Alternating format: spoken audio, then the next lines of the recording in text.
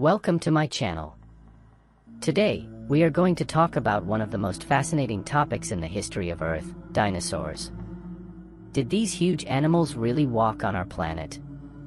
Join me to find out. Although dinosaurs disappeared millions of years ago, science has managed to find evidence of their existence through fossilized bones that have been discovered in different parts of the world. These bones have allowed us to learn about their size, shape, and unique characteristics. In addition, there are also fossilized footprints and eggs, suggesting that dinosaurs laid eggs and walked in groups.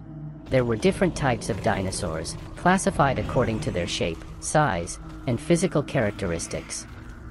Some were herbivores, while others were carnivores.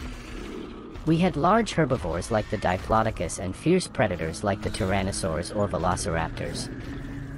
It is believed that the dinosaurs disappeared from Earth due to a catastrophic event such as a meteorite or a massive volcanic eruption, which exterminated much of the life of the time.